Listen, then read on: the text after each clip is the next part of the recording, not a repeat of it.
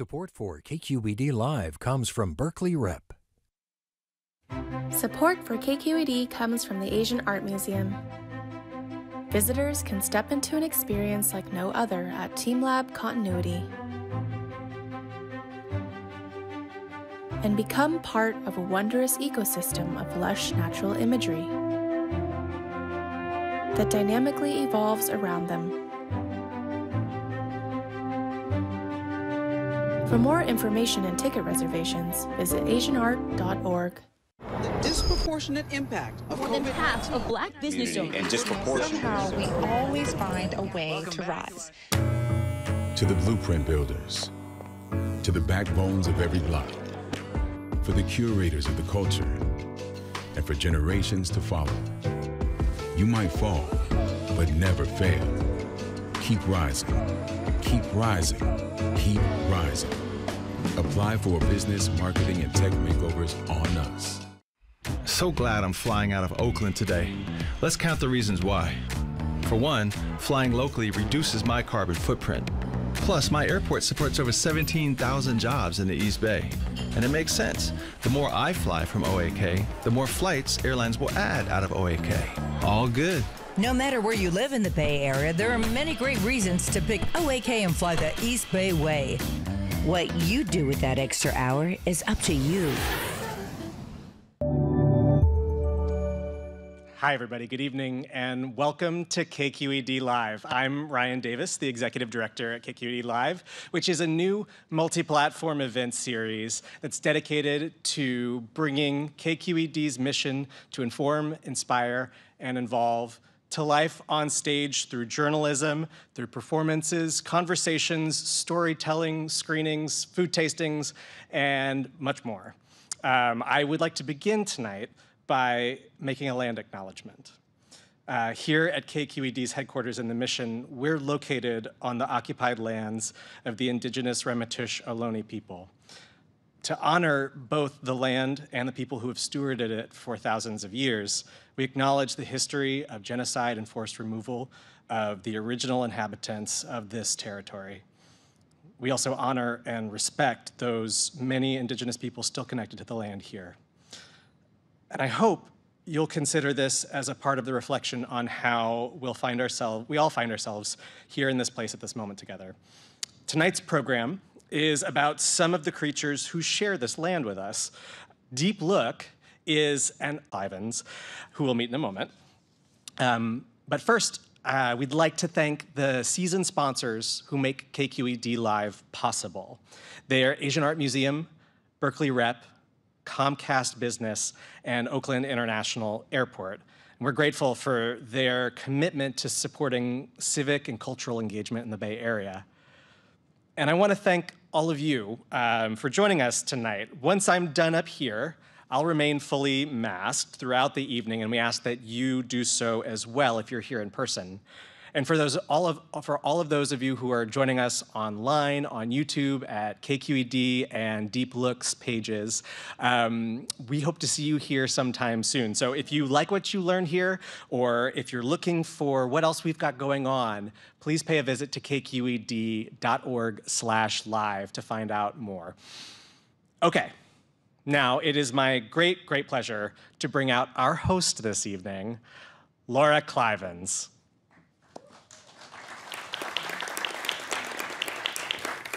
Thank you, Ryan. Hey, everyone, and welcome to our Deep Look Creepy Crawly evening. This is a real pleasure for us because this is our first live event since the start of the pandemic, so we're all very excited. Um, you'll see me getting like really worked up over here because I'm very stimulated by other people, an extrovert. Um, so thank you so much. Um, and we also are here to celebrate our new event space, which is an awesome opportunity to connect with the community, which is what we're here to do. So also, we are filming this and we have a lot of people joining us online. For our Deep Look fans watching on YouTube, many thanks for joining us there as well. I'm Laura Klivans, as Ryan mentioned. I'm a KQED climate reporter and I'm the host of Deep Look. And Deep Look is KQED's Webby and Emmy award winning online wildlife series exploring tiny worlds up close in 4K resolution.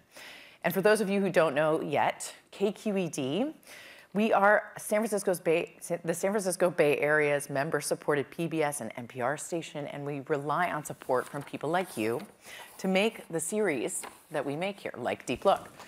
We provide our community with independent reporting, and we do that through television, radio, online programming that aims to inform, inspire, and involve you all. You can find out more at kqed.org. So we have a little intro for you here, and then we'll get to watching some of these videos. You can also check out our full collection of Deep Look videos at kqed.org slash deep look and subscribe to our channel on YouTube, KQED Deep Look. In fact, if you are watching live on YouTube right now, please click the subscribe button and tap the notification bell icon to get updates on all our latest episodes. Becoming a YouTube subscriber really helps to support us so we can continue bringing you these amazing videos that bring us deep into the realms of all these little worlds.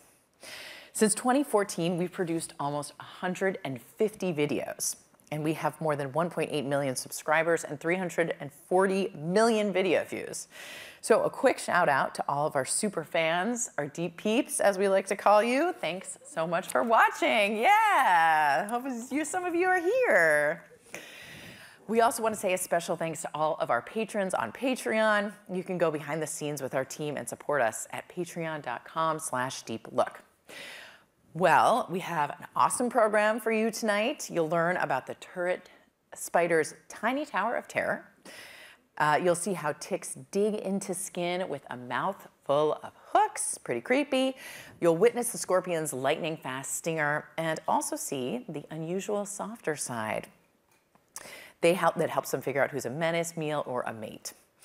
And we have a bonus episode, episode for you about pallid bats. Um, and how they hunt a lot like vampires, plucking their prey from the ground in the final moments of their attack.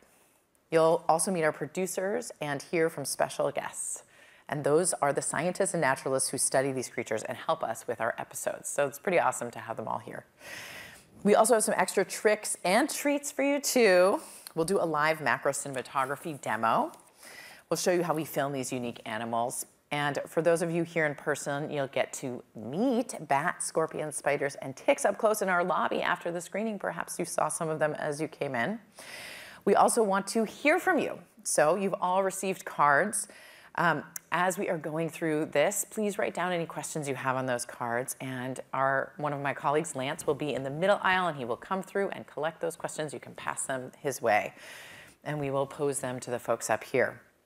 For those of you watching on YouTube, we want to hear from you too. So be sure to put your questions in the chat and we'll do our best to answer as many as we can. Speaking of the chat, we're trying something new. We've enabled YouTube Super Chat and Super Stickers tonight. If those of you joining us online would like to show some extra big love and support for KQED in Deep Look. So, who is ready to be creeped out? Yeah! This is a great Halloween intro. Okay, so let's watch our turret spider video first, and then we will talk after the video. Enjoy.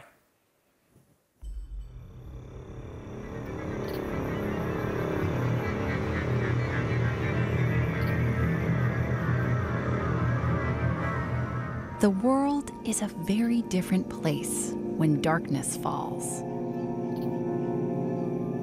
Most of us head for home, for cover because as the shadows creep in, they hide things, frightful things.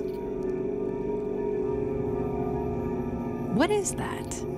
That little tower. Look, there's another one. They blend in so well.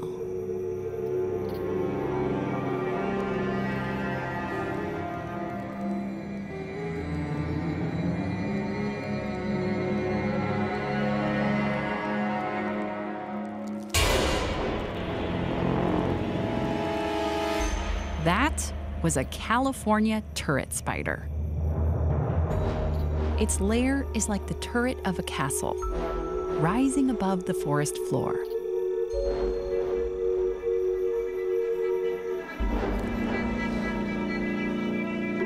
It's lined the inside with pearly white silk and coated the outside with mud, moss, or leaves. The turret leads down to the spider's burrow that can descend six inches underground. The spider spends its days down there. As the last rays of the sun die out, it rises.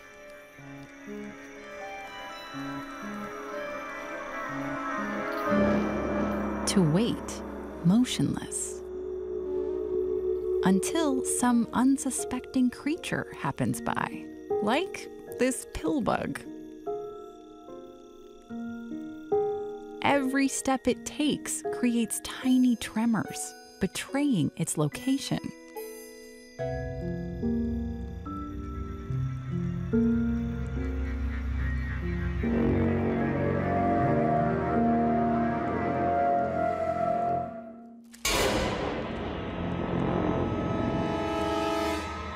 Whew, that was close. Turret spiders actually have pretty poor vision. Instead, they rely on feel. Bursting out in whichever direction the vibrations seem to come from. So sometimes they miss. They belong to a group of spiders called mygalomorphs, along with their more famous cousins, tarantulas, and trapdoor spiders. They pack oversized fangs that swing down like a pair of pickaxes. They were hunting this way long before spiders started building intricate aerial webs, like this orb weaver spider. Instead, a female turret spider might live for 16 years and never stray from her turret.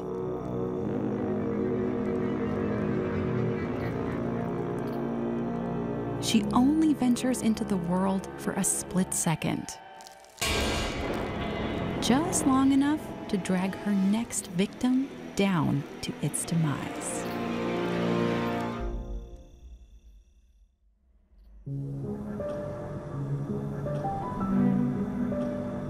Ready to go for a hike in the woods. So we're gonna bring out some of the people behind this video. So come on out here. We've got Josh Cassidy. He's the lead producer and cinematographer of Deep Look. He's won numerous cinematography and producing awards. In fact, he recently won a Jackson Wild Media Award for his stunning episode on aphids. Congratulations for that, Josh. So here's Josh. All right. Hello, everyone.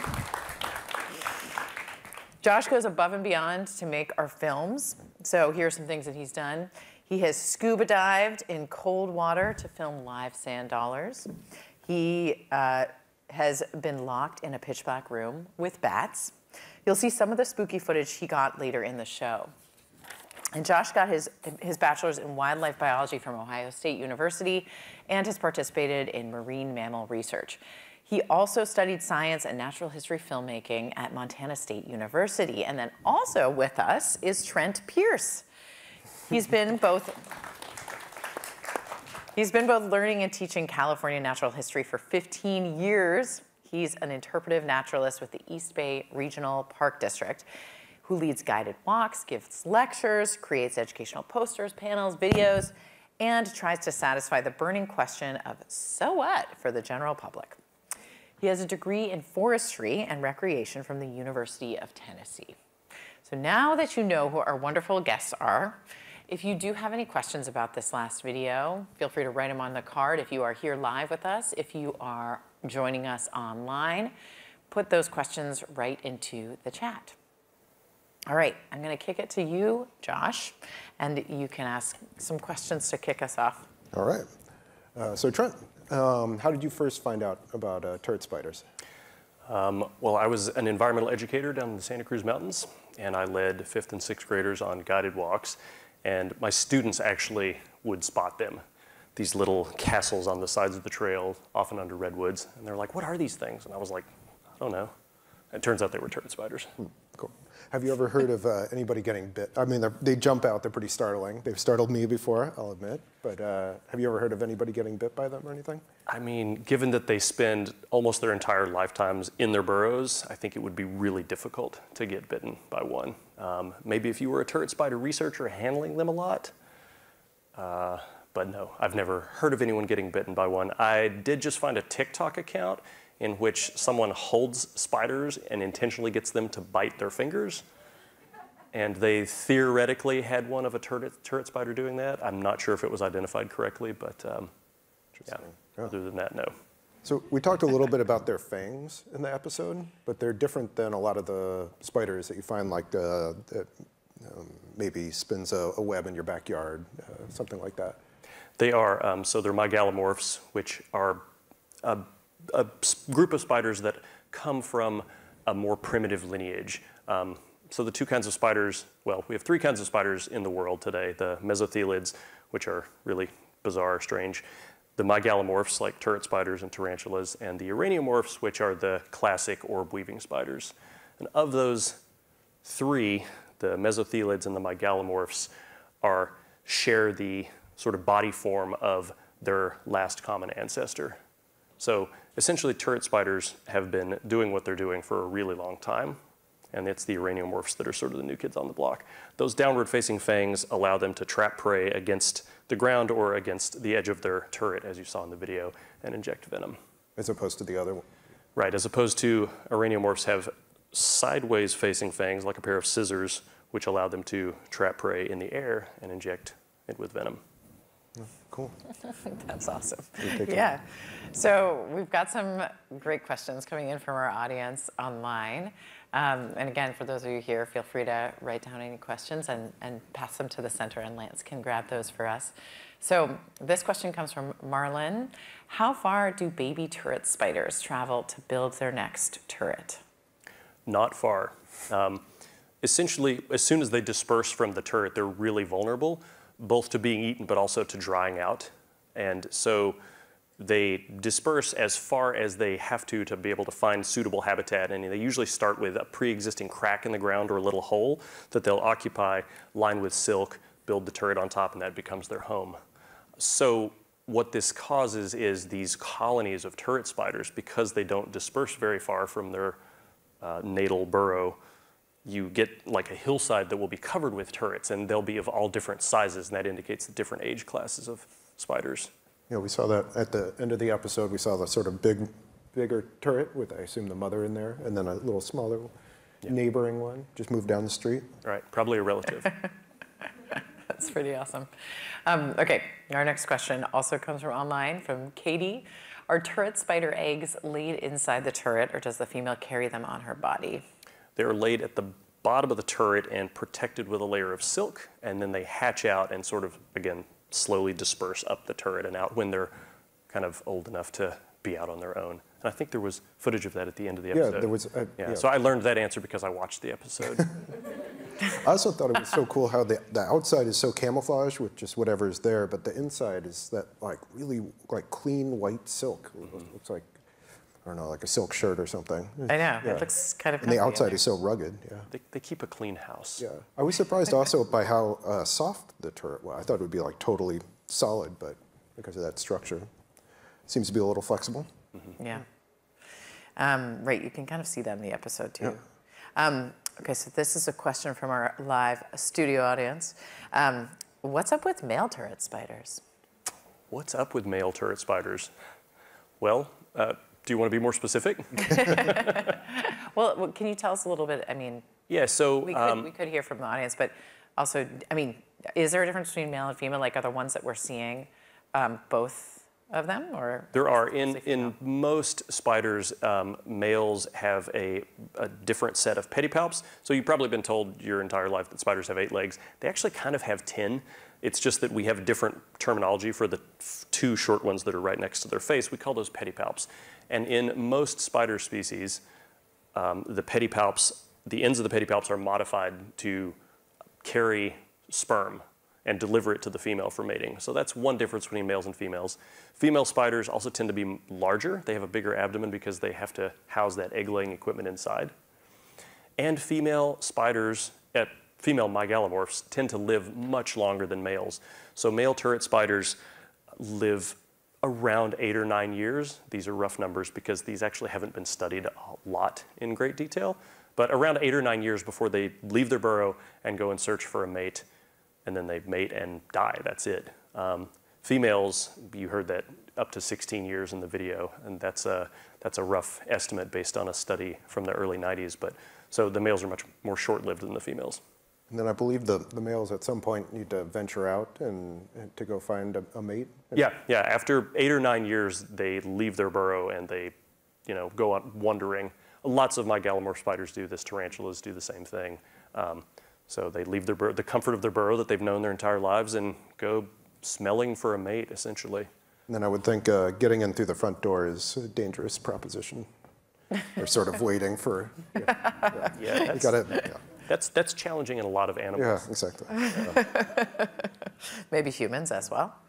Um, this question is from our audience here, from someone named Arcadia. How did you get the video of inside the tunnel? Uh, so we, we just got one shot of that because um, we found that it was it was hard to do that. Uh, we try not to damage anything, uh, and so that, that was very hard to do. Uh, that was actually with um, a producer who used to work on Deep Look, Elliot Kennerson. Uh, he took um, a little borescope, like the uh, the little camera on a, I guess a cable, that you might uh, stick down your drain to find the wedding ring. That's Like- yeah, like a tiny- lost in the Yeah. in the sink, you know. Uh, um, so he used one of those and just stuck it right down in that little hole, and you can see that the turret spider is not super pumped about it. Um, all right, so this the question comes from online from Ian Alexander. How much time does it take for a turret spider to build their turret? Their entire life. Because, because as soon as they disperse from their natal turret, they immediately build their own burrow and construct a really tiny turret at the top. And then as they grow, they're constantly excavating and enlarging that burrow and then working on the turret. So, you know, from the time that they disperse until they are finished with their life, potentially up to 16 years. So is is a turret that's been worked on for 16 years substantially larger than the others? Oh, yeah. How big do they get? Uh, maybe as big as your thumb. Yeah. It's so hard because, like in the deep look videos, right, we're looking at them and we think they're all so huge, and then we hear that that's the largest size of a turret.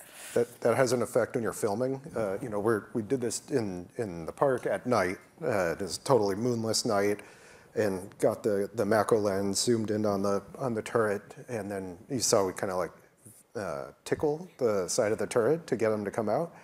Um, and you know, when you're really zoomed in there and like it comes it comes out and is terrifying. There's we didn't include it in there, but there's one clip that we have where um, I was I was filming and I was tickling it with the, the little leaf, and then it just comes out just furious, you know. And I didn't scream. Have you know I did not scream, but I did run. and I was like, you hear it on the camera, me go, Ugh. and then like, dun, dun. and then I'm like, oh wait, they never go more than like that far away from their turrets, but I can I can stop running. It was really- And then there's the sound of them laughing at me. I mean, I've heard that clip and it sounded like a scream. It was just a Yeah. rapid exhale. Okay, sure. Okay, the next question is from online, from Fishy. What's the biggest insect a turret spider can catch? Ooh, a superlative question. I would say the size of its burrow. Um, it's not going to destroy its burrow or the turret to pull prey down into it. So, you know, it has to be uh, small enough that the spider can physically grab it and inject it with venom and then fit down into the turret uh, and into the burrow underneath the turret. So, the larger the spider, the larger the prey item it could catch. Um, again, the biggest burrows that I've seen are, you know, about the size of my thumb or a little bit bigger. So, if you imagine the end of my thumb or maybe your thumb, uh, about that big. So, what kind of insects would that be? Lots of beetles, uh, roly polies, gr- insects that crawl around on the ground at night. they seem particularly strong. Maybe I'm just making this up, but they seem stronger than the, the types of spiders you see, you know, with webs. Yeah. The, the mygalomorphs in general rely on a combination of kind of power and then venom to overwhelm their prey. So they kind of tackle it and then inject it with venom, which we all saw. Did anyone jump when it came out? Yeah. Yeah. See, you're not alone. Um, okay, another question from online from Thomas R. How tough are their mandibles and can they pierce through exoskeleton? Yes, uh, by mandibles, I'm guessing we mean fangs. So the, the fangs are attached to the chelicera, and those are the, you can see it in the, uh, on the screen right here, those kind of big hairy things that are on the front of the face. So those act as sort of fang shields. The fangs are on the back side of those, and they flip down and then open up and pierce. And they're, they're very tough. I mean, they're, you know, tough enough to pierce through the exoskeletons of any of their prey items.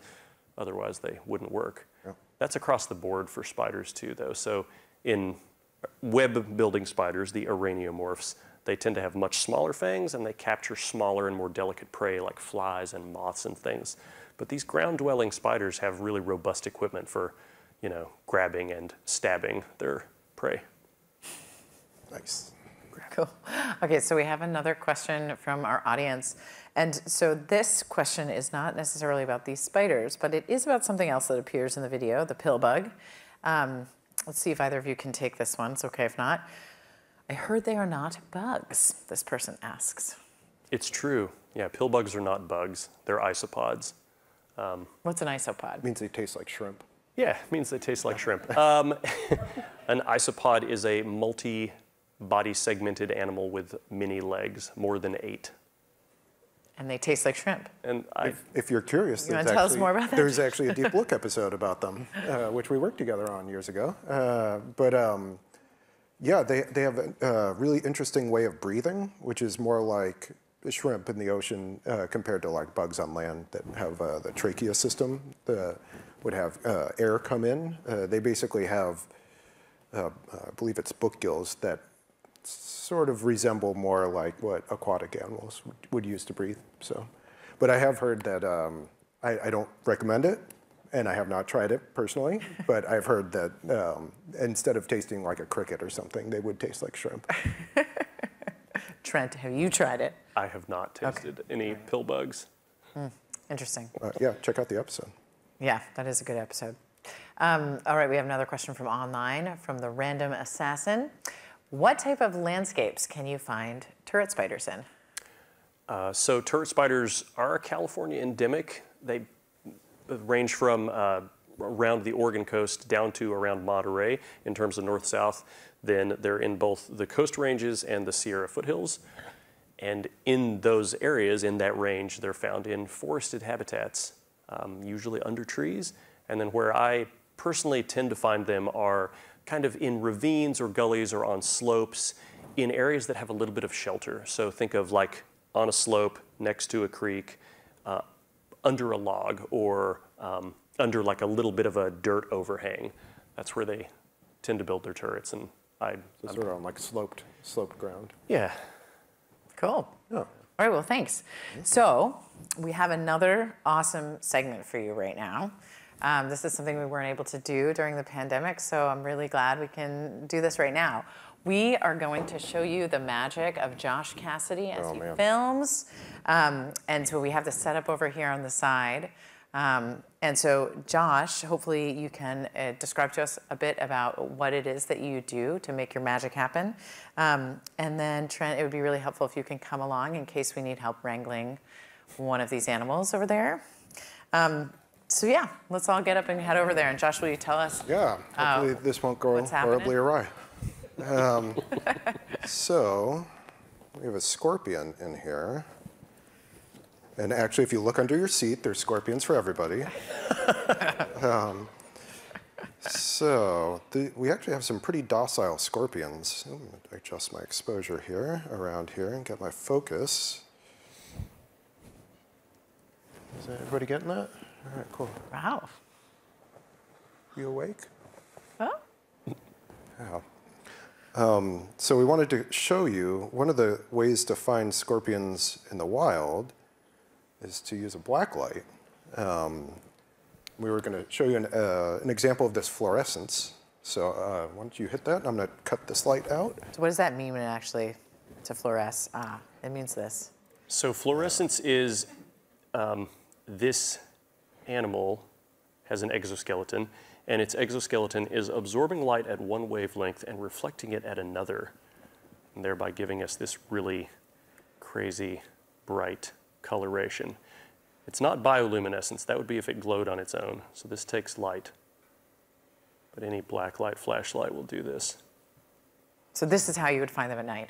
Yeah, this is how I found this one at night. Mm-hmm. Wow. Yeah. And then Josh, what are you? Can you describe some of the things that you're actually doing with your Right. camera and and a few details about the camera as well? Cool, yeah. So for macro, the really important part isn't so much the camera, it's the lens. Uh, so this is a, a macro lens uh, from Canon, but there's several different types.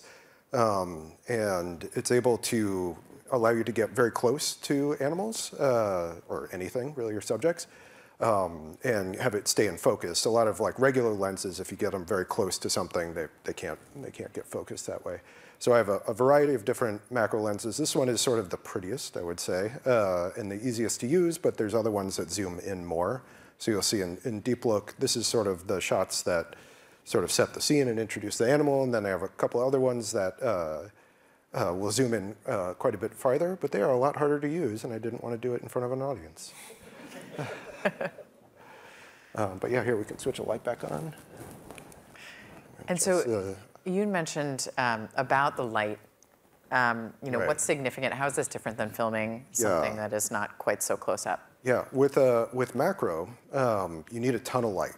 Um, and the best, we're very fortunate in the Bay Area because uh, we have overcast skies a lot. And that makes a really nice even light, uh, which I like for shooting. Um, but if that's not an option or filming at night, oh. there you go. Um, I didn't scream. That was good. All right, now I'm gonna scream. No. Uh, anyway, so if that's not an option, oh, it just went right under that bark. Um, if that's not an option, LED light is fantastic uh, because it doesn't usually make uh, hot, like the light itself isn't warm. Uh, old sort of incandescent lights, they would just cook the, our subjects. Uh, so Be a bad look. um, LED is nice. This is just a really powerful light because you um, you're just filming something very small. Means that uh, light has to bounce off of that small thing, um, as opposed to if you take a, a wide shot of a vista or something like that. There's all the light uh, bouncing off the whole you know scene. For this, it, we have to get bounce a lot of light off of something very small in order to get the, the right exposure. So, hello. So this looks huge to us, looking at it here.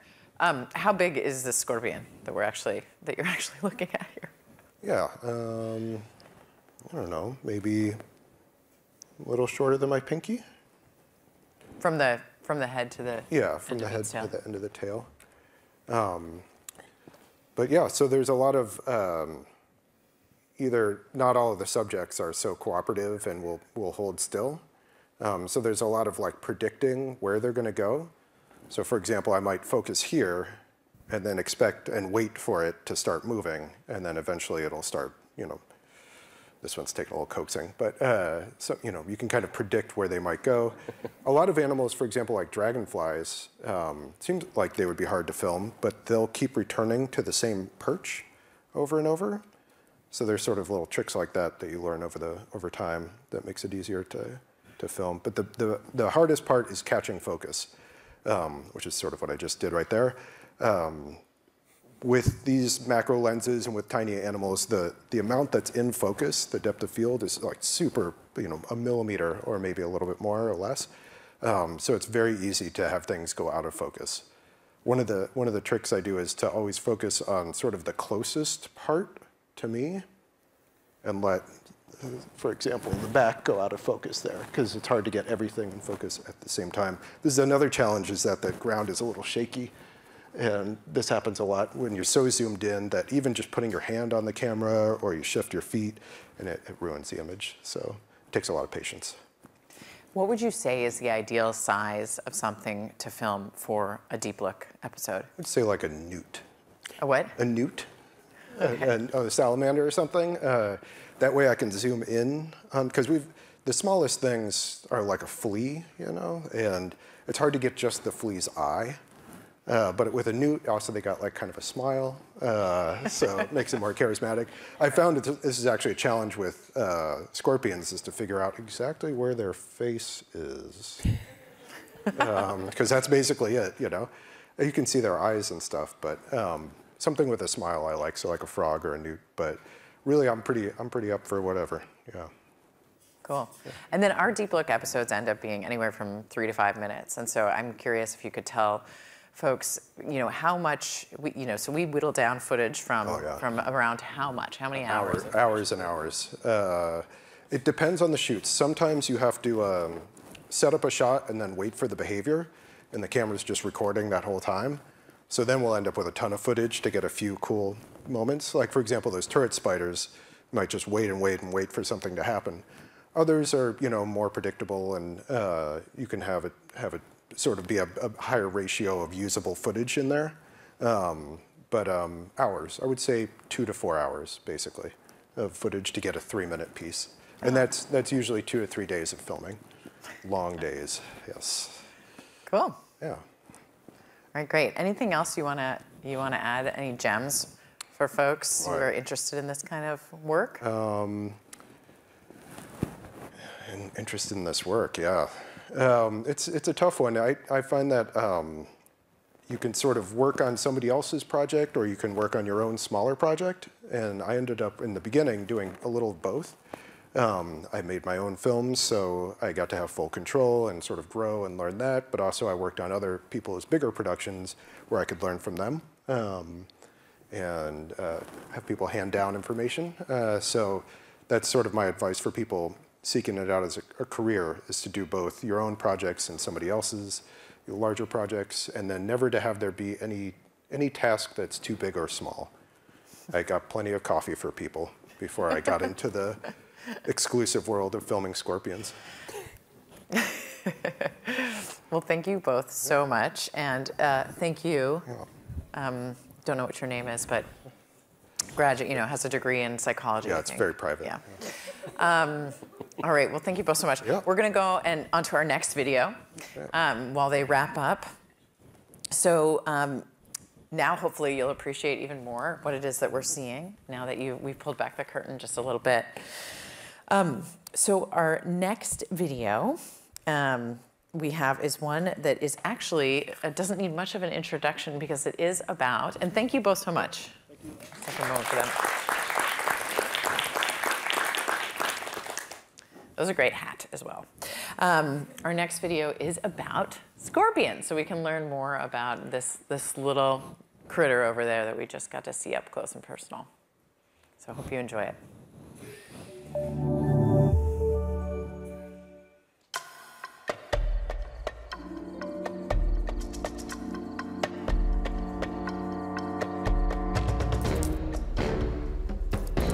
Powerful pincers paralyzing venom, armor fortified with iron and zinc.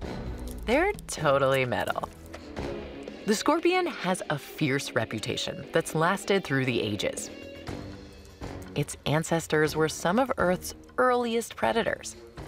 But this beast has a secret, a softer side. If you flip over a scorpion, don't try this at home, its belly is sensitive and not just because its armor is thinner there. Right behind its legs, you'll see a couple of comb-like organs. These are pectins, and every scorpion has a pair. The comb teeth are covered in tiny sensors called peg sensilla. Every peg sensillum has a slit-shaped pore that takes in chemical traces from the ground and air. Each is attached to roughly a dozen nerve cells this helps the scorpion's brain read the chemicals to understand its environment. It's similar to how we taste and smell. That's useful because even though it has many eyes, a scorpion's vision is not the best. When two scorpions meet, they use their pectins to sense each other's pheromones, invisible chemical signals they release into the world around them. This helps them determine who's a menace, a meal, or potential mate. Looks like these two are a match. They're not fighting. They're, well, holding hands and kissing, scorpion style. And this is their version of a slow dance. The male deposits a packet of sperm on the ground inside a casing called a spermatophore. She picks up what she needs. And just like that, this brief but sweet courtship is over. The peg sensilla are also sensitive to physical cues. They brush the ground as the scorpion walks, deciphering textures that help it navigate. But the pectins aren't its only specialized sensors. The scorpion's dainty feet and hairs all over its body also help it pick up minuscule vibrations. Hmm, dinner.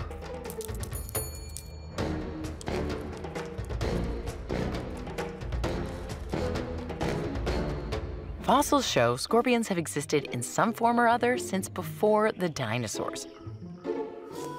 At night, researchers can find scorpions because they glow under a simple UV flashlight. Why this is, is a mystery. Today, there are more than 2,000 species found all over the planet. And scientists are still discovering more. There's so much pressure out there to be tough, smart, fast. Maybe the real trick to survival is cultivating your sensitive side for hundreds of millions of years.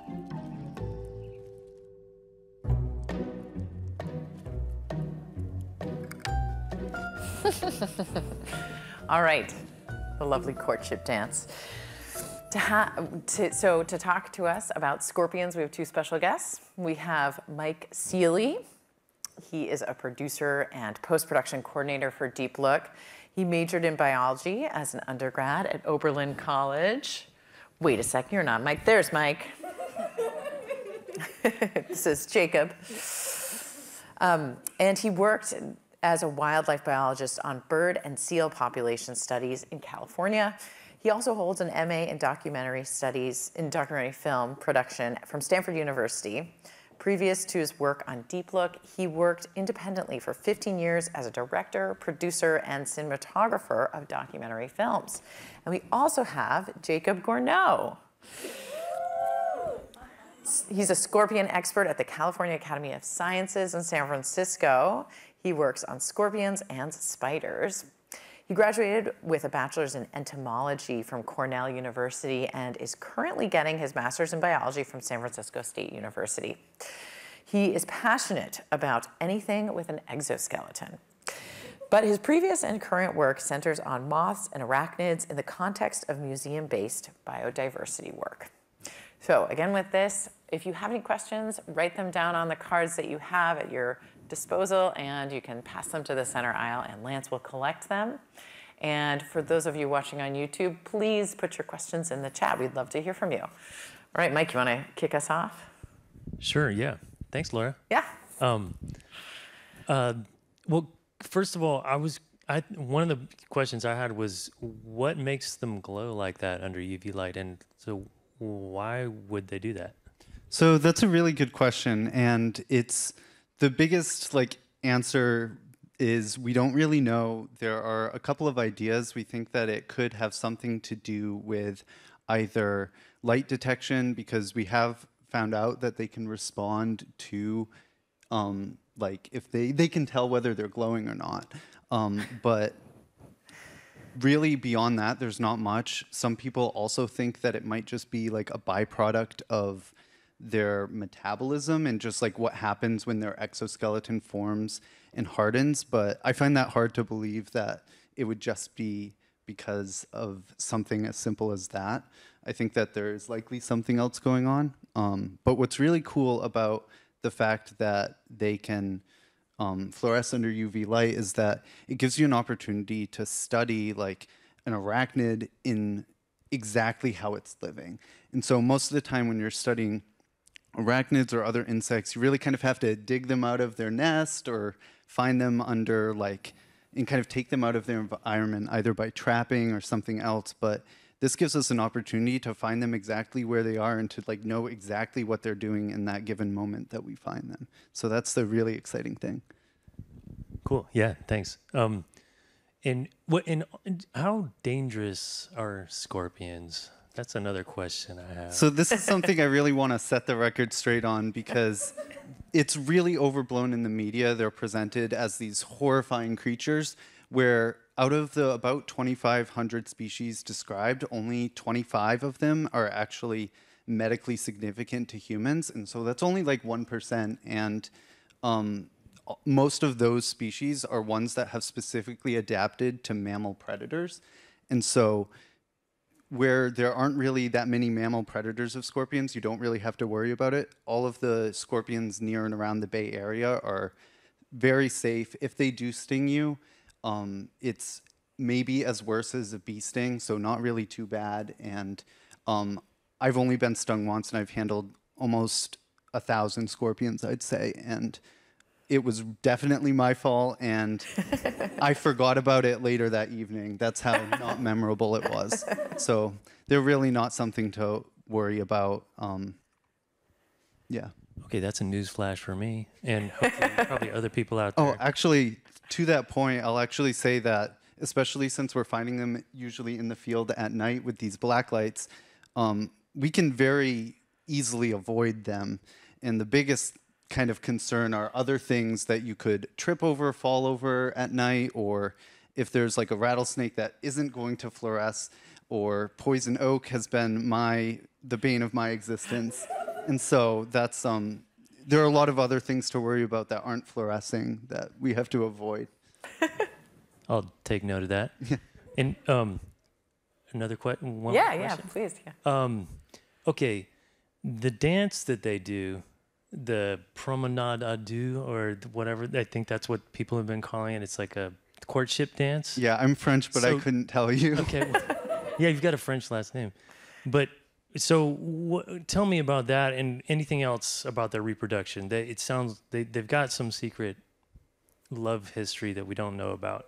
Yeah, so scorpion um, reproduction is this really incredible thing that happens, and um, scorpions actually will basically um, they don't like inseminate like um, most mammals or different things like that. They do external fertilization, um, which means that the male will place that spermatophore stalk that you saw in the video, and right at the tip of that is going to be like a package that has all of the sperm.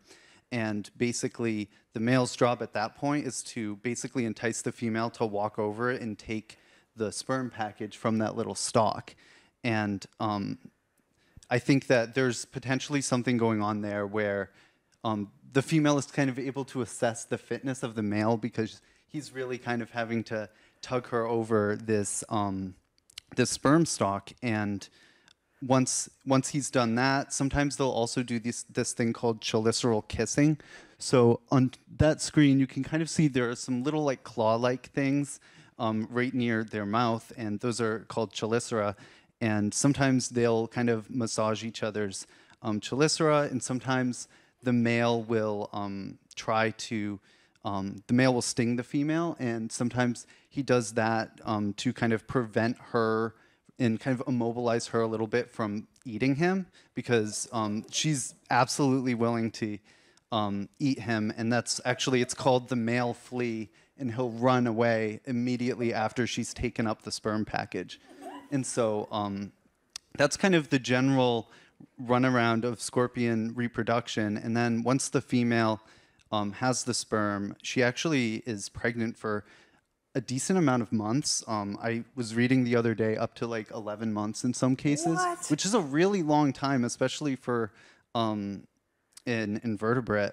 And then all scorpions give live birth, so none, you won't see any eggs or anything like that of scorpions. And they're the only um, group of arachnids that give live birth other than um, one like group of mites or something. So they're really, really unique in that respect. And then once they've been um, birthed, the first stage, which is called an instar, crawls onto the back of the scorpion of the mom. And basically, they just like hang out there, and she kind of guards them for that first most vulnerable stage of their lives. And they actually don't fluoresce in that situation. And the whole the mother one as well. The mother will fluoresce, Oh, okay. but the the babies won't until after their first molt. And then once they've molted for the first time, they've got to get out of there because otherwise they're a snack for mom. And so um, she she really doesn't keep them around beyond that. And there are some social species that will hang around together beyond that, but for the most part, um, that's kind of a very basic crash course. That's Fascinating. Yeah. Um, I, I have another question, but if if Well, we have some good ones coming in from the audience, so let's, we could. let's see what the audience wants Yeah, to know. yeah. yeah. Let's Okay, check cool. it out. So uh, we have a question from online from Kaiser Yuan. How good are their eyes? That's a really good question, and we don't entirely know, but from studying, so they have a two eyes like right in the middle of their um, cephalothorax, which you can kind of think of as their head, and those eyes, we've looked at their structures and been able to determine that they probably can actually make images from those eyes. Um, we're not really sure like what resolution or whether it's something that um, is incredibly useful. But then they also have a couple of eyes around the side of their cephalothorax or their head, and those eyes are more just for light detection. And so, not really like image forming, but just like whether there's light that they should either be staying away from or kind of going toward, and different things like that. And so, it's actually a little varied. Wow. Cool. Um, all right, another question from online from John Paulser. Are scorpions related to ancient sea scorpions? And if you know what ancient sea scorpions are, can you just give us a briefing on that? Yeah, I'm not super um, familiar with them, but basically, ancient sea scorpions, they're sometimes also called Eurypterids, and um, they were these really massive um, prehistoric invertebrates that would really be like, some of them would be like 8 to 12 feet tall. They're just very massive. And it was originally thought at some point that um, scorpions did um, evolve from some sort of waterborne ancestor, which is still true, but scorpions weren't like the first arachnid to kind of come on land, which was originally thought for many, many decades. So they're related, but not as closely related as like their body types might make you think. Mm. Mm -hmm. Okay. Um, all right, so here's a question from Josh in our audience. Um, what animals eat scorpions? That's a really good question. So, um, most of the time, it's um, birds or small mammals will go after them. Um, sometimes other mammals that are like, or other invertebrates that are large enough to grab onto them. So, I wouldn't be so surprised that like a, a tarantula or some kind of larger thing, they will actually prey on each other, even within the same species, um, which is pretty shocking. And Well, it sounds like the ladies are interested in eating them. Exactly. The males sometimes. yeah, and the ones that are preyed on by um, mammals are the ones to kind of worry about in terms of their venom potency because they're kind of in this like evolutionary arms race going back and forth with okay i have the stronger defensive venom or i'm kind of more able to eat you and different things like that and so um, that's basically that Okay, and then just a follow-up question: Do they taste like shrimp? No, just kidding. you know I, I, I have heard that they actually taste really good but i haven't tried one yet Wow, nobody here has eaten the insects we're talking Yeah. about. It's just so strange. Um, okay, so another question from online from Thomas R. Um, why is it that most larger scorpions with bigger claws have weak venom, but the ones with thin claws are smaller and ha- um, are, and are smaller have more potent venom? Yeah, so that Is is that- a really like true? yeah, it's actually more or less true, and it's an interesting trend that we see because you would kind of think, okay, they have bigger claws, they're probably like more dangerous or something like that, but um, the fact that they have larger claws um, means that they can use those claws for more things. They can use those claws more for catching food, for defense, for different things like that. And the smaller claws mean that you know, there's less of an ability to use those claws for either defensive or predatory purposes. And so they end up developing more potent venom as a result of that. Cool. Okay, that's very interesting. Yeah. Um, okay, so this is a question specifically for you, Jacob. Um, do you have any particularly noteworthy stories from collecting scorpions in the field? That's a really good question. Um, I think that I think that we've been doing a lot of field work this past these past couple of months, and we've been going all around um, California, and we've encountered like pretty much every field work obstacle you could imagine. I've been covered head to toe in poison oak. We've driven through very very burned areas, kind of dodging wildfires, um, and we've even like almost hit a bear, different things like that. And well, we kind of hit it, but it was fun. and um, and so I think those are some of the more interesting stories. But of the like scorpion specific ones, I'd say um, sometimes the scorpions will be really high up on cliffs. And so we have like a very interesting time trying to make sure that they don't go back into their burrow, but we can still scramble up the like kind of roadside cliff or something fast enough to get to the scorpion. And so I'd say that's the most scorpion specific interesting story we've had. That's a good one. Um, all right, another question from our audience. Can scorpions sense vibrations from prey or predators or mates? Yeah, they actually rely on their vib- on vibrations a lot more than they rely on their vision. Um, they have um, basically all of those hairs that you saw in the video, like all of those are like solely intended to detect vibrations.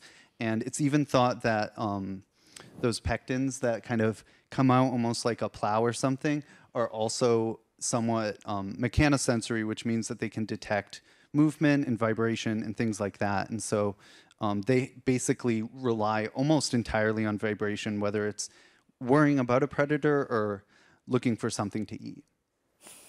That's great. Cool. Well, they definitely are sensitive, as we all learned this evening. Um, thank you both so much, and for making this video, and for being our expert on this on this work. Thanks so much for having me. Yeah. Thanks, Laura. Yeah, let's hear for these folks. Thank you both. okay, so now we're going to go to uh, yet another creepy crawly insect, um, an arachnid, ticks. Um, we're going to watch this video, and we will be back to chat afterwards.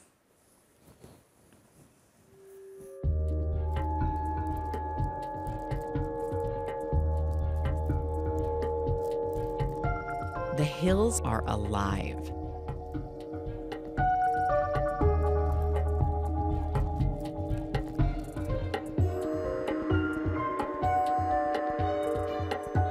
With silent, waiting ticks.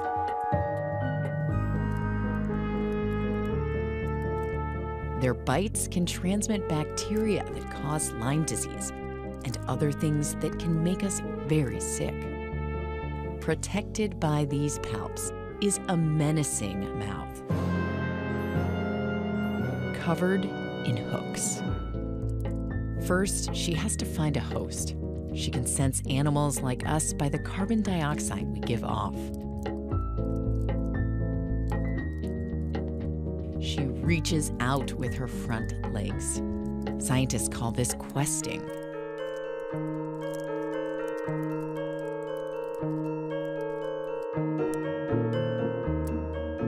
It will use that claw to latch onto something, like your sleeve.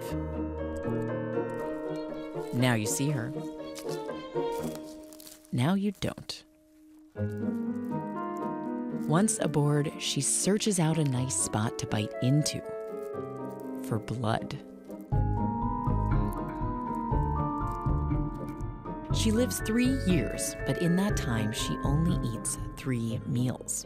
A tick needs enough blood to grow from larva to nymph, nymph to adult, and then for females to lay their eggs. Gross. Let's check out a nymph, a young tick. It's tiny, smaller than a freckle. To grow into an adult, it needs one blood meal, a big one. The front of its body is all mouth.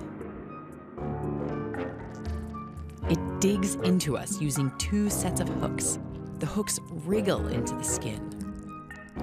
They pull our flesh out of the way and push in this mouth part, the hypostome.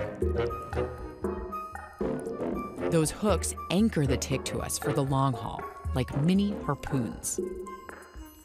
While the speedy mosquito digs in, sucks our blood, and splits, all within seconds. A tick nymph stays on for days. Three days if we don't find it before then.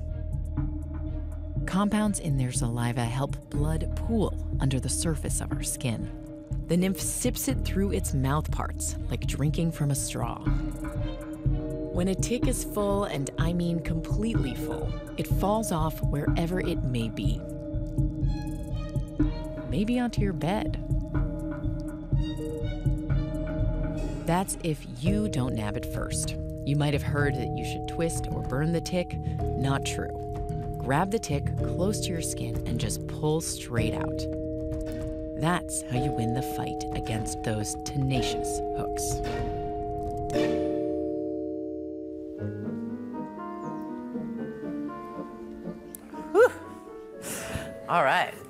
This was um, the first video I collaborated with Deep Look on before I became the host. And um, I saw that scene of the enormous tick laying eggs. And I was like, you can't show that. That's too gross. And they were like, that's what our audience likes. I was like, oh, okay. All right. So to join us right now, we have uh, Gabriela Quiros. Deep Look's coordinating pr producer. Gabriela has won numerous awards for her science reporting. Her video about how mosquitoes use six needles to suck our blood won a Webby People's Voice Award and has over 19 million views. In fact, she seems to specialize in making videos about arthropods that suck our blood. To get that footage, she sometimes sacrifices a bit of her own blood, which we'll hear more about in a minute. Gabby grew up in Costa Rica and came to the Bay Area to study documentary filmmaking. She has a master's, she has master's degrees in journalism and Latin American studies from the University of California, Berkeley. And we have Kerry Padgett. She's the laboratory chief of the high risk pathogens section at the California Department of Public Health in Richmond, California. She works with biologists, epidemiologists, and microbiologists to test ticks and other animals for disease-causing bacteria. She has a PhD in ecology from the University of California, Davis, specializing in parasitology. Welcome to both of you. And um, I, and again, with questions, you know the drill. If you have them, write them on your card here. And then if you are in the audience, just please add them into the chat. Um, and Gabby, I'd like to kick this off to you. Thank you, Laura. Thank you for being here, Kerry. So, um, a lot of people are not aware that ticks and Lyme disease are not just a problem on the East Coast, that they're all also here in California. And the, there are studies that have shown that in some parts of Mendocino, 40% of ticks um, had were carrying the bacteria that can cause that causes Lyme disease, and certain parts of Marin um, up to 20%. So, can you give us some tips on how to avoid getting bitten by ticks when we're out on a hike? I'd be glad to. So, um, Gabrielle, you're correct. There are some hot spots where um, the Lyme disease bacteria, which is called Borrelia burgdorferi, is found in the tick that was featured in this film, the western black-legged tick. Um, but on average, about 1% of the adult ticks are infected in California and about 5% of the nymphal stage of the tick. But nevertheless, there are places where um, the ticks have a higher risk of infection. And we, you know, you should be prepared to remove a tick as soon as you find it. And to find it, um, you should check yourself, all your body, your nooks and crevices for at least a couple days after being in, in habitats that might harbor ticks. So some of the, you know, the hiking areas around here in the in the Bay Area certainly do harbor ticks. Um, and the species of ticks, this is filmed in, in Berkeley. Um, and if you um, do find a tick off of you, just pull it off. Um, you can even look while you're hiking. And I do that when I'm walking. I'll sometimes look at the, my back of my pant leg because ticks like to um, attach you know, they're, they're at the ends of grass typically, and they'll attach um, on your pant leg or in your on your legs or your socks, and they go. They want to have. They want to climb upwards. So they'll climb until they hit sort of a spot that they will, you know, be sort of safe and and you won't notice them, and that's where they'll um, most likely embed. Um, so you want to check yourself carefully. You also um, can use some repellents, such as DEET or some other repellents. If you're using DEET, uh, which is you know commonly found, you should use um, it above 20% for ticks, so a little higher than you would use for mosquitoes. Um, and um, if you do go hiking, you come home and you launder your, your clothes. That's a really great way to um, make sure your the ticks that are just on your clothes, you get them off before they get onto you. But if you don't want to wash them all the way, you can just put your clothes in the dryer for 10 minutes. So uh, a hot dryer with dry clothes for 10 minutes will kill ticks. Great, those are great tips. Thanks. And so um, I've often heard you say that ticks that come out right at Halloween and Halloween is coming right up. So tell us why why it is that Halloween is such a landmark. Yeah, that's just a, um, it's kind of a, a wonderful um, coincidence that a blood-sucking arthropod um, becomes active pretty much the same week of Halloween. I mean, we we at the California Department of Public Health, um, one of my colleagues, Megan Saunders here, um, we collect ticks commonly, and we, we really try to find when they come out first each year, and it really is the week of Halloween. And it most likely has to do with um, day length and humidity. So this is when we start getting rains here in California. Um, but even if we get rain a little earlier, we'll go out and we'll flag for ticks and we won't get ticks. So it really is something to do with probably a combination of, of daylight and, um, and humidity.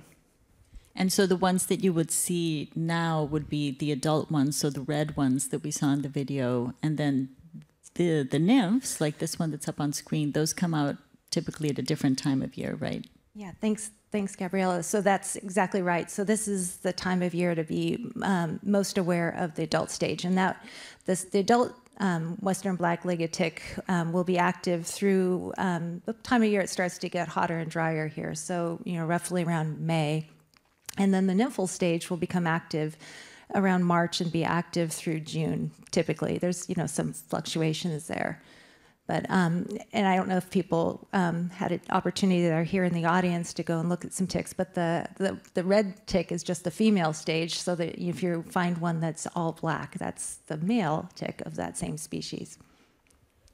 Can you remind us how to? Can you demonstrate for us again how to? What the best way to remove a tick is? Yes. So um, I get asked a lot of, how, you know, how do you remove ticks? Here, I brought some. I brought some of my um, my. Can I hold your micro your microphone for you? Sure. So um, I want to first say some ways not to remove ticks. So don't fall for putting Vaseline, mayonnaise, um, soft soap, um, fingernail polish, uh, all sorts of things to just smother the tick and then have it, you know, crawl out on the, you know, the cotton swab that you put the soft soap on. It, that's one, it doesn't work. But if, um, you know, some crazy fluke chance it did, you don't want to delay. You want to get the tick out right away. So um, to remove a tick, you want to, so the tick, you saw the picture, actually it's right above us. So if the tick is embedded into you, you want to just simply put forceps right down, or, or tweezers, just down at the bottom and pull straight up. Don't twist it. Um, don't you know? Don't you don't have to worry it in any way. Just pull straight out, and the and the tick should just come straight out. And I think we were just talking that you successfully removed a tick this way for your friend, and she was very impressed with you. So yes, it's a great party trick if yes. you're out on a hike and I was with somebody who had one attached to them, and I had just finished the video, and I said, "Does anybody have some tweezers?" And just did exactly what you just did: put them really close to the skin and pulled straight up, and it came right out. It was impressive. It works really well. Um, and and I wanted to ask you there. A lot of people have seen the video online, and there have been a number of misconceptions that people have. Um, written in the comments. One of them is uh, don't pull the tick out because it could vomit inside you. Inside you. So what is what do, what do you think is at the kind of at the core of that? And um, what would you say to people who are kind of afraid of removing them or removing them incorrectly? Yeah, I, I that question or that comment about vomiting is is um, something that really does not happen. So um, you know there should be no fear about you know squeezing the tick and worrying about you know having it you know basically like everything release into it. So the tick is embedded and it does release um, you know sort of salivary glands. It does have anticoagulant properties that are you know will will secrete into you. But the faster you remove the tick, the faster that you know it can transmit any disease. So for Lyme disease, it takes um, a minimum of 24 hours to transmit from the midgut into a person. So if you have a tick on you and you remove it um, within 24 hours, your risk of Lyme disease, you know, acquiring Lyme disease is, is pretty much nil. So, you know, the real the message is to remove the tick as soon as you find it. And if you don't have tweezers, you can always take like um, Kleenex and just and pull straight up. And if you do that and it, you're you're not using you know forceps and you might leave a little bit of the um, the the mouth parts into you, that is not going to transmit any disease to you. The mouth parts themselves may be you know just a little dirty because you know they're in, in nature, and you might end up getting a little you know, irritation at that site. So removing the tick, cleaning it with soap and water, using maybe neosporin or alcohol to clean it. I know we all have hand sanitizer ready. That works great too. Um, and so, you know, it may, as I said, you know, the mouth parts might be embedded, but they'll work their way out just like a splinter would. Fantastic. That's so great to know because I know that people do worry about parts staying inside. Thanks. Yeah, that's a lot of great info. Um, okay, so we've got a question a few times, and I think, Gabby, you might be the person to answer this one. Um, was that tick actually on someone's skin in the video? If so, whose? Yes, it was. and it wasn't me. Um, but Kerry and I did spend an afternoon in my house um, trying to get bitten by ticks so that we could film them. um, and it didn't work. So it turns out that we're not attractive to ticks, which is a good thing. Um, but uh, Ariel Cruz was the person, fortunate or unfortunate, who uh, who they did bite into. That's her skin. and at the time, she was a student at San Francisco State University. And um, actually, Kerry, she worked for you afterwards. Um, so that's that's whose skin it is. And then there's there is the skin of different volunteers um, being crawled on by ticks. Wow. How can I sign up for that gig? Just kidding. Okay, so um, we have another question from online. This is from Three Turtles, One Shell. Um, what makes ticks such a good host for so many different types of disease-causing bacteria? Well, uh, one one aspect of ticks is that they are unlike um, some other blood-sucking arthropods in that they stay attached for a long time. So, um, you know, this aspect I mentioned about having to take some time for the Lyme disease bacteria to transmit. I mean, if it if a tick only fed for a short amount of time, it would not be able to transmit. So they are kind of unique in that there are some tick species, soft ticks, that can feed very quickly. Um, and they do, some of those species do um, transmit diseases, but um, the diversity of those diseases might be a little bit smaller. So I think that's probably um, kind of one of the best reasons is that they're, you know, you know, they, they stay on you for quite a long time. So it might take for an adult tick, you know, three or four or five days to feed to what you call repletion until it is full of blood. It can take up to 100 times its weight in, in um, blood, which is amazing, um, and then will fall off. So it's mm. crazy. All right, um, this question is from Marcos um, from online. How long can ticks live without eating? Uh, so I mentioned soft ticks. There are some soft ticks that can live for decades in, in crevices um, in, in some areas of the world. Um, so those those ticks are a little special. So the the um, the western black-legged tick, um, I actually did a, a this was my first scientific publication where we figured out the life cycle of this tick, and I took ticks and put them in little um, silkscreen tea bags and I put them out in nature and checked them every two weeks, different life stages. And we found that it took three years for the tick in California to go through its life cycle. So for the life cycle, that's how long. For an individual stage in that life cycle of the Western black-legged tick, it's about a year. And so it could go without eating for that whole time or for the years? It can go for a year and then it will die here in California because of most likely because you know where we are it's it's very um, hot and dry. I think when back east the life cycle is a little longer. It can be about four years. Wow. And so they, they basically eat a big meal to molt and grow from one stage to the next, from life stage to the next. And they have, what, four life stages? Yes, yeah, so they, they start out as an egg, then they um, develop into a larvae. Here in California, they hatch around July, which is interesting, and then they feed, they wait in this sort of um, uh, diapause until um, basically the spring, and then they, they feed as a larva on, here in California, they feed on lizards, and they also feed on rodents, and then that will kind of wait another year and then and then molt and then yes you're right that once the adult stage feeds they need that blood meal the female needs the blood meal to um, to make eggs. The male tick does, it may take a blood meal, but a very small blood meal, so the um, potential of the male western black-legged tick as a disease vector is very, um, is very muted. Um, the whole blood meal phrasing is really unappetizing.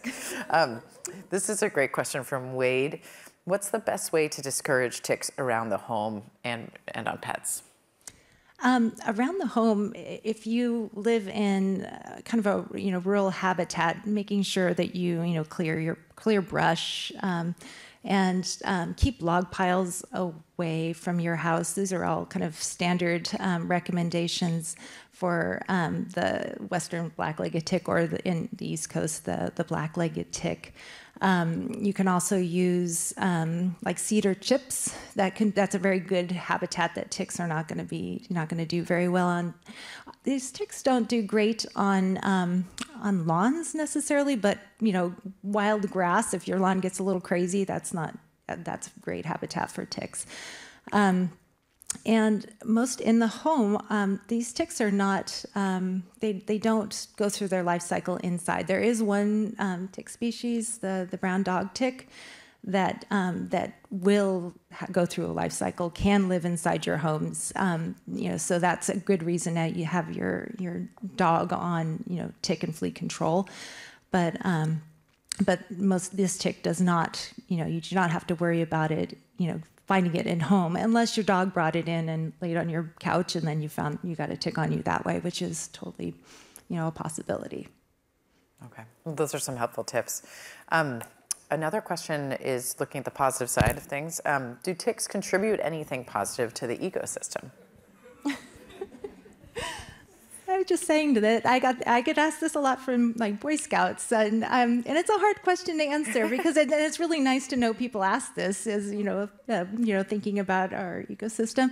you know, the, the, idea that they do transmit diseases, you know, that that's they certainly do have a contribution. It may not be what we think is a positive contribution, but um, yeah, I don't. I don't think that's. It's probably very subtle that you know their contribution. um, I don't know if if ticks disappeared, if we would, as humans, notice it.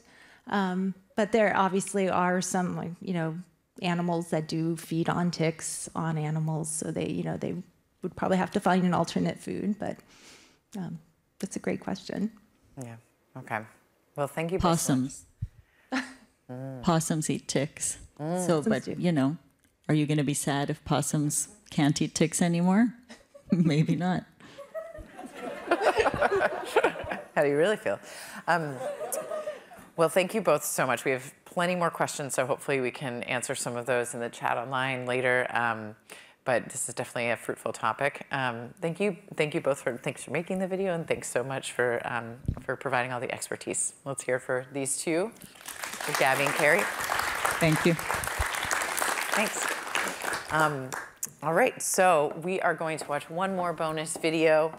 Um, it is all about pallid bats, and we won't be doing a Q&A after this video. Um, so if you have questions, you can hold them for the exhibit hall, where you can meet Corky Quirk, founder of NorCal Bats, a Sacramento-based organization focused on rehabilitating bats, and ask your questions in person. And for those of you watching online, we'll do our best to answer your questions in the comments section. All right, let's see this last video.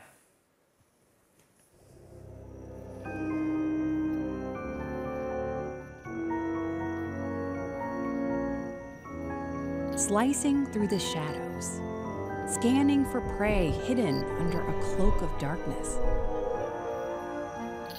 Bats are masters of the night sky, thanks to their twin superpowers flight and echolocation, using sound waves to find prey.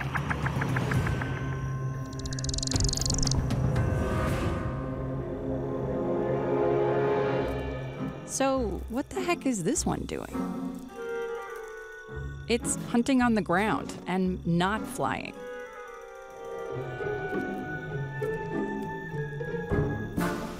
Kind of an undignified way to catch a meal, isn't it? I mean, for a bat.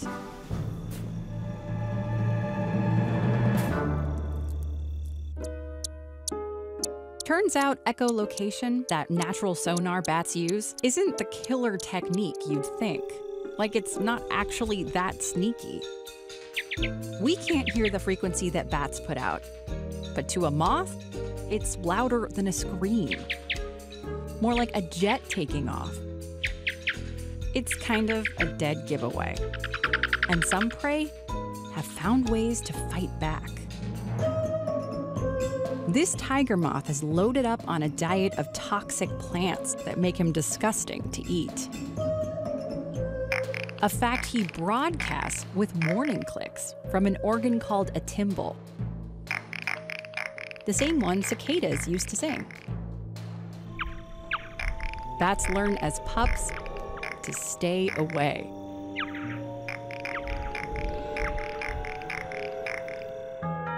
And these hawk moths can scramble bat sonar by emitting clicks from their genitals. It's a dogfight that bats are starting to lose. That's why some, like this pallid bat, are changing the game. She still echolocates, but only to navigate. And she keeps the volume low. She's a whispering bat. When it's time to hunt, she goes into stealth mode. Her ears point down, where scorpions and crickets are milling in the loose earth. And she listens. Look at those ears again. They're huge relative to her tiny skull. They do a great job of capturing and amplifying sound, especially the low pitched noises of scurrying prey. And see that funny flap? It's called the tragus. They provide extra information about where a sound is coming from. We have them too, but in a bat, they're way bigger. And the bat has a final card to play here. She's immune to scorpion venom. But the sting rattles her a little. It's not as graceful as the high flying aerobatics, but hey, it works.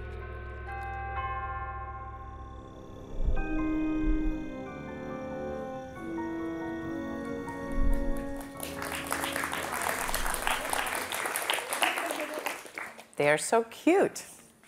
Um, I really hope you get to go and enjoy and check out some of those awesome bats out there in our lobby after the show. Um, we hope you enjoyed being here. Thank you so much for welcoming us back to the space, and we're so glad that you could all join us here at KQED.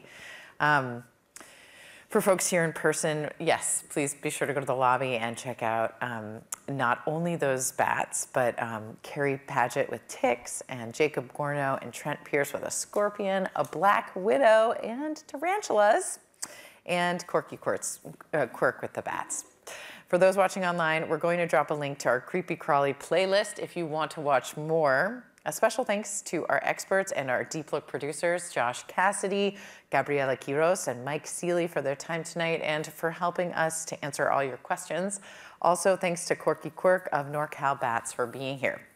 And a special shout out to Deep Look's production team. Craig Rosa is our series producer.